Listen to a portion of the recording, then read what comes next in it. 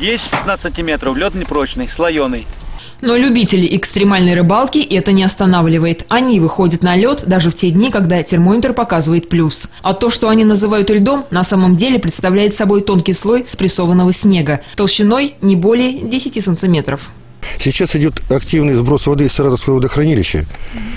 И вы- вот температуры, которые сейчас минус 2, минус 4, они прирастанию льда не способствуют.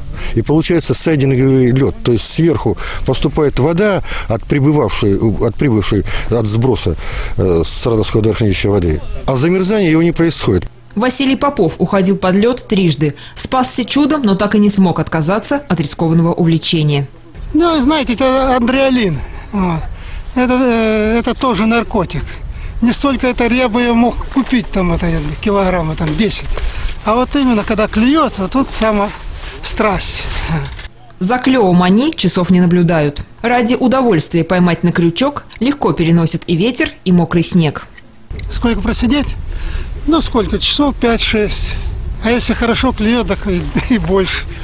До начала зимы уже провалился под лед и не смог выбраться один человек. Еще два рыбака погибло весной. В современном законе нет статьи, которая защитила бы экстремалов от самих себя. Но кроме надежды на авось, сотрудники МЧС все же рекомендуют прислушаться к некоторым советам. Нужно подобрать хорошую экипировку, чтобы можно было сбросить быстро намокшую одежду.